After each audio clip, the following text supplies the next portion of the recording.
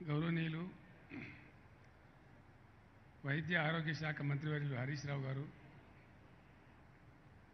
మన రాష్ట్ర home minister గారు గౌరవనీయులు మహమూద్ అలీ గారు రోడ్లు భవనాల మంత్రివర్యులు గౌరవనీయులు ప్రశాంత్ రెడ్డి గారు పశుసంవర్ధక శాఖ మంత్రివర్యులు మిథులు శ్రీనివాస్ యాదవ్ గారు స్థానిక శాసనసభ్యులు గౌరవనీయులు దానం నాగేందర్ గారు పెద్దలు మన పార్లమెంటరీ పార్టీ నాయకులు పెద్దలు కేశవరావు గారు మన రాష్ట్ర ప్రధాన కార్యదర్శి శ్రీమతి శాంతికుమారి గారు సమావేశంలో పాల్గొంటున్న ఇతర మిత్రులు సమావేశం మందిరంలో ఆశీనలో ఉన్నటువంటి మీ అందరికి కూడా తెలంగాణ దశాబ్ది ఉత్సవ శుభాకాంక్షలు తెలియజేస్తా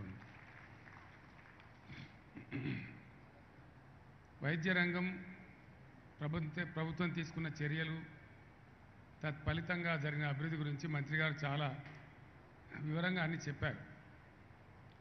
బేసిక్ పాయింట్ ఈజ్ నేను చెప్తున్నది కాదు ఎప్పుడో కవులు రాసినారు శతకకారులు రాసినారు.